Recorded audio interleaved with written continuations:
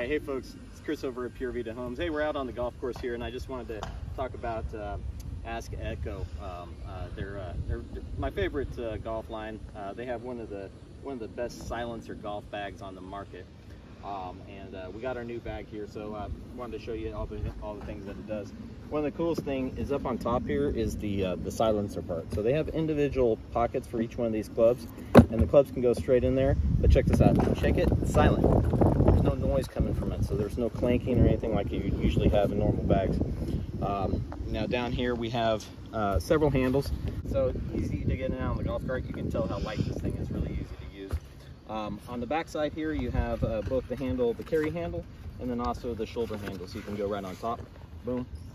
Um, and then uh, several pockets kind of all over the place. So there's big pockets on the side for uh, whatever you want to put in there, like um, um, you know, tees. There's a dry pocket on each side of this that will stay totally dry in case it rains on you.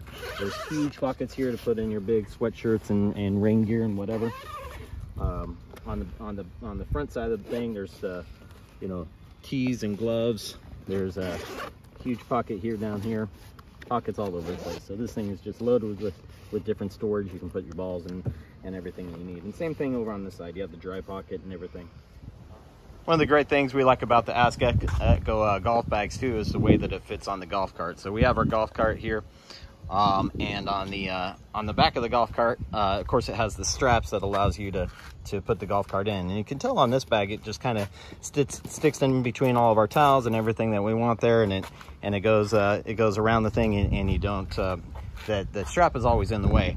But over on the Ask Echo, it actually has these little strap things behind the pockets so that your strap is not in the way at all. It just goes through and it goes behind everything. So it stays on the golf cart securely, but you're still able to access all your pockets and everything in, in the bag so that you don't have to uh, have to work around that strap.